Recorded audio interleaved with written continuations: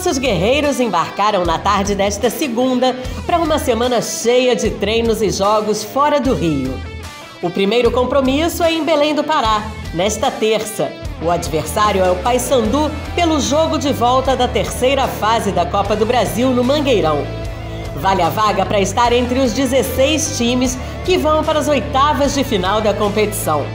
O Flu leva vantagem do placar de 3 a 0 do jogo de ida no Maracanã e pode até perder por dois gols de diferença para avançar.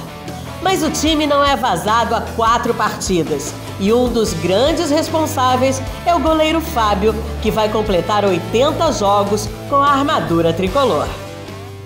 A gente encara como uma decisão, né? O Diniz sempre frisa muito bem isso, foca nesse nesse jogo de concentração para que a gente possa desenvolver um, um, jogo que nos favoreça, né? Então a gente tem que estar focado, é, determinado em fazer o resultado independente de vantagem, porque assim a gente vai nos aproximando cada vez mais dentro do jogo e no final da partida dessa classificação que é o que a gente quer.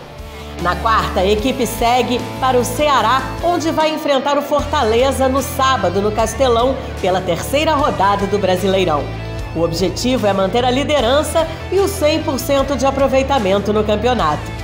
Vamos ver algumas imagens do último treino do elenco no CT Carlos Castilho antes da viagem.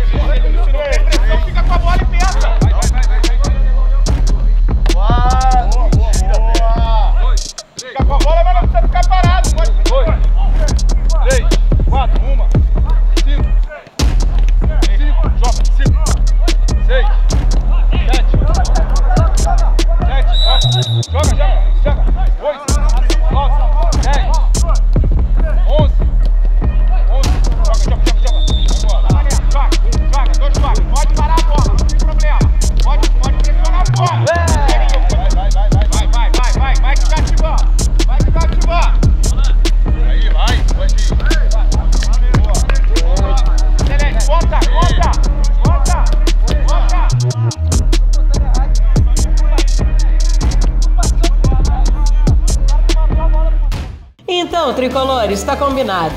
Terça, a partir das seis da tarde, nossa convidada no Boteco Betano Tricolor é a youtuber Alicia Cruz. Em seguida, tem Fluminense e Paysandu pela Copa do Brasil, com transmissão em áudio pela Flu TV.